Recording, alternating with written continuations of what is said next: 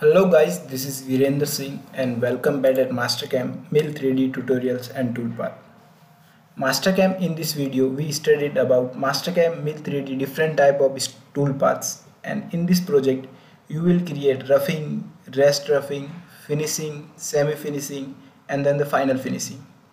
In this video we will discuss about different type of operations like as area roughing, area rest roughing and how we choose and how we create a stock model also. After creating of the roughing operation, we will also discuss about that how we can create the finishing operations like as a waterline, rest waterline toolpaths. Then we will discuss about and study about the detailed study about the horizontal toolpaths, raster toolpath as well as the rest raster toolpath. So in this video we discuss about the various different type of toolpaths and different type of tricks and tips. So in this video we will create that one entire parts that how we can create in a Mastercam in easily. So let me start. So before we creating that part, so let me show you that that is one is our part and you can check that one part properly that how that one is created. So in this video you will learn about that how you can create the complete that one profile in a Mastercam. If you want to download that over training material, so for that you have to join our Mastercam channel so you can access about access over all training material which we share in our Mastercam training videos. So let me start with that one project. So first let me delete all these toolpaths that I have created in this component. So for deleting all these toolpaths, I just click on delete all operations group and tools and I say yes now as you can see here that one is over my as you can see here that one is my profile that currently show at the screen. So first let me show it going at the toolpath manager click on a properties and first I make stock setup. So for creating a stock setup I click on all entities so as you can see here that one is Y that one is X and that one is Z. So I just increase the Z value is little more than as currently as so here so I just say okay. So as you can see here this is my component. That is that there is one dash line. So that is a stock model for my that one part. So next option that I have to create that stock model that so that time we can create our toolpath smoothly. So for creating a first thing for the stock model I just go for a stock model. And first I have to return the name of stock model. If you don't write here the name of stock model so you cannot create that one operation. So first I just say stock model. And now I have to go in a color. I can change my stock metal color stock color as per my requirement. And I just say that stock setup is now I have to create as my stock model. So as you can see here I just created stock model as per my requirement. Now again I have to go in a area roughing operation. I just have to press an area roughing when I just press on area roughing operation so that time there is a one interface is open here. And first thing that I have to select the entire model. So I just selected the entire model as I want to machining. And the next one step that is what is the wall stock and what is the floor stock? So we have to remaining the wall stock and floor stock is 0.2 it means that the 200 micron we will remaining after the roughing operation now the next one thing is the toolpath control. At here toolpath control. I have to input what is the tool percentage tool diameter percentage. I just input 150 diameter from the what the tool we are chosen and the strategy I just always choosing when we are going to roughing that kind of part I have to choose that from outside. It means that each time when the tool is starting to plunge so that time the tool will be going to plunge from the outside of the profile area then the next page is my tool selection page I just go for a tool. And I select a new ball nose tool. And the, what is the ball nose size? That ball nose diameter is 20 mm and what is the corner radius? It's 2 mm radius. Now I have to go in stock setup. I have to select the rest, rest material. And I have to select the operation which I want to machining. And I just say stock model the operation that I have to linking that is I linking that one operation that is stock model that we created previously.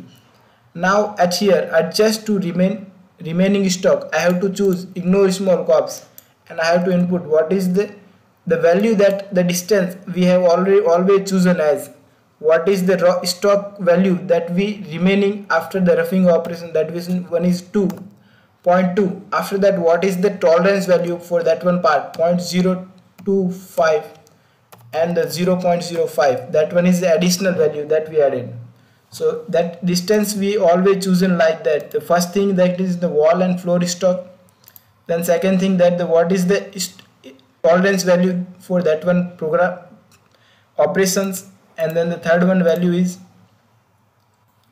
extra value that we are added for that one is 50 micron additional so that is 0.2 plus 0 0.02 plus 0.05 and I say okay. So as you can see here my toolpath is created but as you can see here there are a lot of blinkings are available here. So let me make few of modifications so at here I just completed at that here stock setup and now the next one step that I have to go in a cutting parameter. At the cutting parameter I have to input what is the depth of cut for that operation. Percentage of tool diameter 100 what is the xy step over? Transitions I have to choose what how the end tool will be enter. And now step and shallow and then finally at a linking parameter minimum vertical retract. And here what is the feed rate when that that time what is the feed rate when tool is going to do that the minimum vertical retract if we choose always the minimum vertical retract make sure that you have to choose output feed rate and now press ok and regenerate. So as you can see here my toolpath is again created for the roughing operation. So as you can see here now the next one operation I have to create it that is my rest roughing operation. So I have to copy both of these operation and paste again I have to go in a stock model. So automatically that is in Mastercam 2021 automatically the name is going to be created for the if we copy and paste. Now what we have to choose we have to choose the color. If we want to change now we have to select on a stock model. Source of operation is that and I have to select OK and regenerate. Now we have to do rest roughing operation. So for creating a rest roughing operation, I have to go in parameters, model geometry same, tool geometry, toolpath geometry same. What the changes I have to do that is I have to choose the different tool. So for creating, so for choosing that different tool, I have to choose end mill 10 and that corner radius is 0.2.0. We have to choose feed a spindle speed as per requirement and then the next one step that I have to choose the stock model for my that one operation so as you can see here that is the stock remaining after the roughing operation and for that one operation I have to choose. The stock is that one the third operation. And I so for the next one step I have to go in a cutting parameter. What is the depth of cut for creating that one operation? And now all the remaining operation will be same like as a roughing operation. And now I have to press for a regenerate that one operation so as you can see here I just creating the regenerating that one operation. So Mastercam will remove the remaining material from the all surfaces for my model. Now I have to create the finishing operation. So before creating a finishing operation I have to rename my toolpath group that is my rough. And for a finishing I have to create a new toolpath group for that one. I have to go in a group new toolpath group and I have to now go click here and F2 so I can remaining my new toolpath group is like as a finish.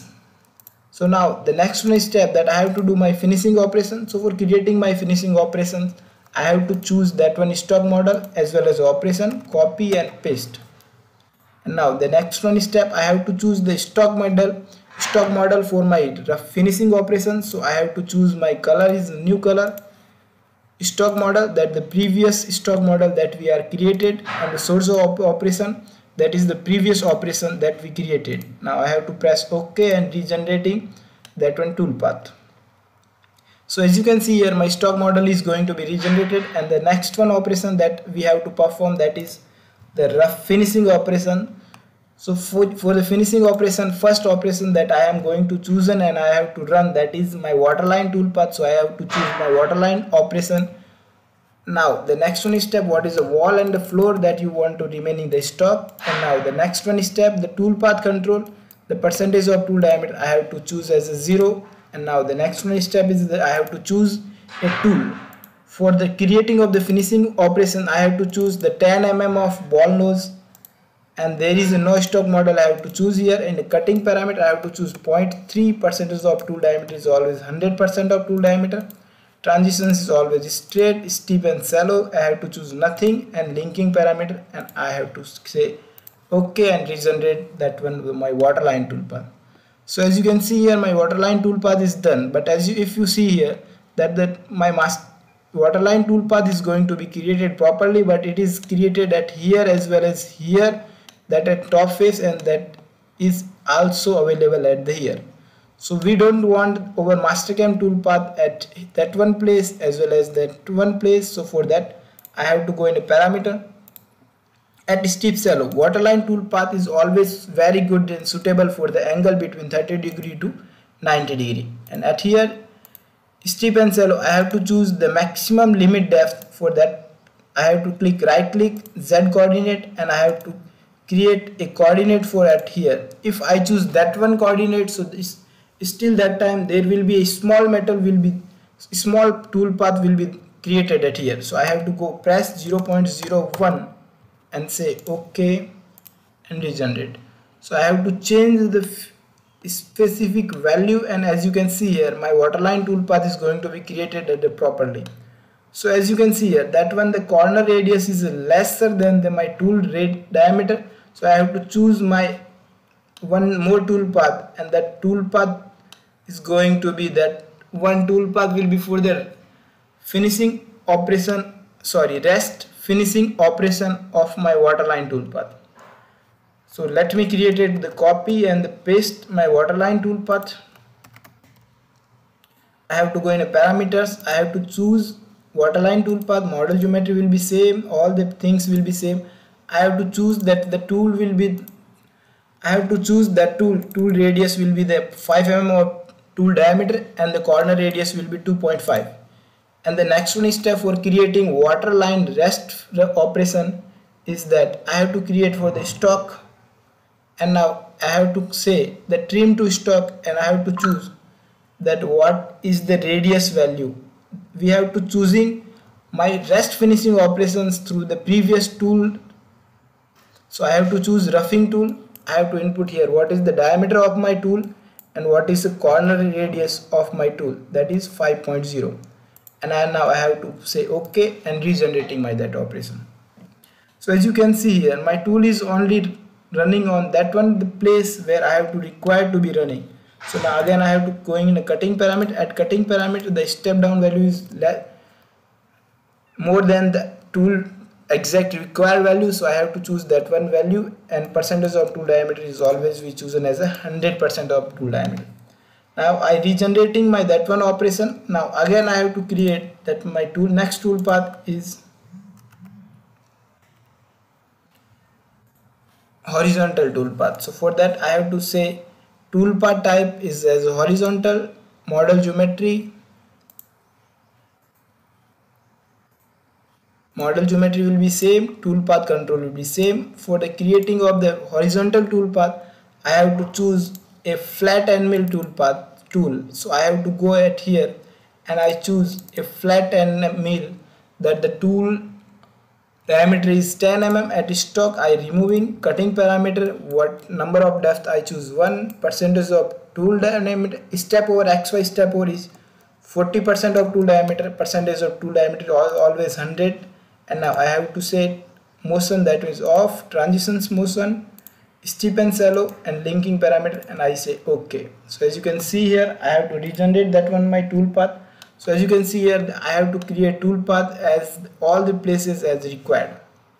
So as you can see here I created the toolpath but it is not created at the bottom place. So for that I have to go at here and unmark this. And I say again regeneration so as you can see here that my finishing toolpath is created at the flat portion as well as this face as well as the inside that one face so now the next one operation that I have to chosen for that one creating for that one upper portion as well as as I have to create it at the flit portion.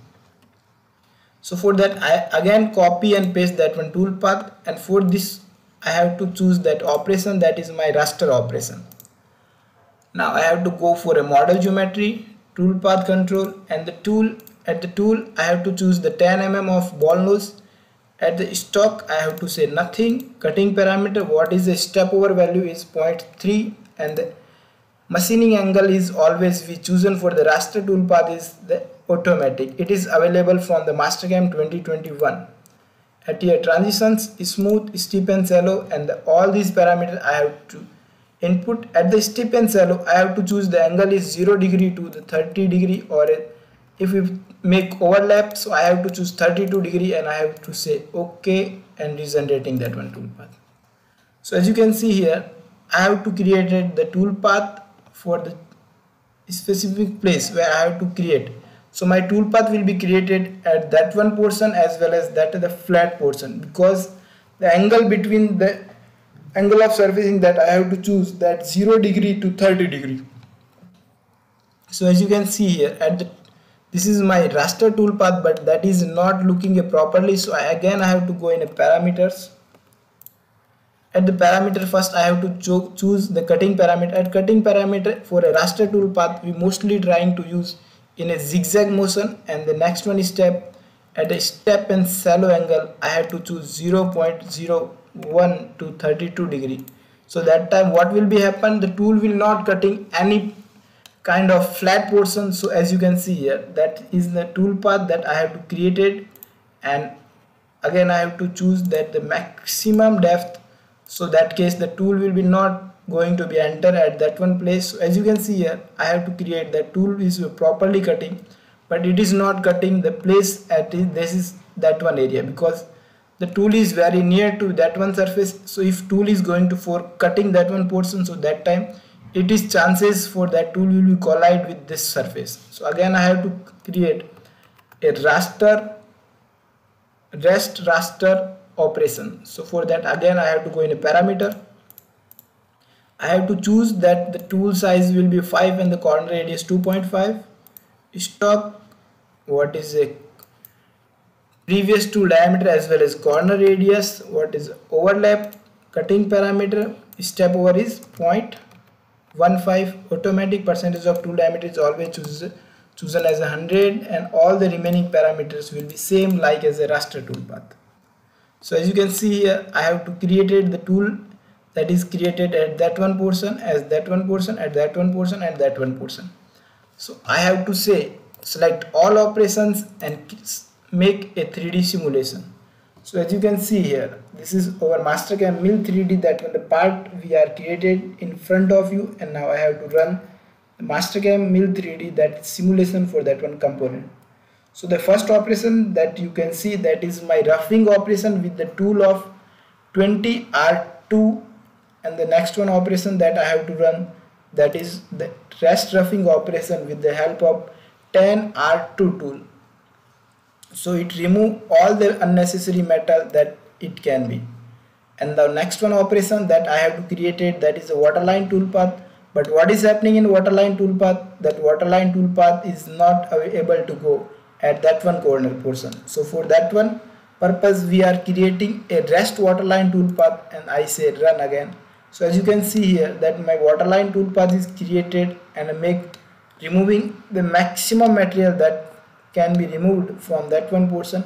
If we require that that portion that the area should be I have required that is my properly flat portion so that time you can create a contour toolpath outside of this one area. And now again I have to choose um, the flat portion. So as you can see here I, when I choose a flat toolpath so what is happening?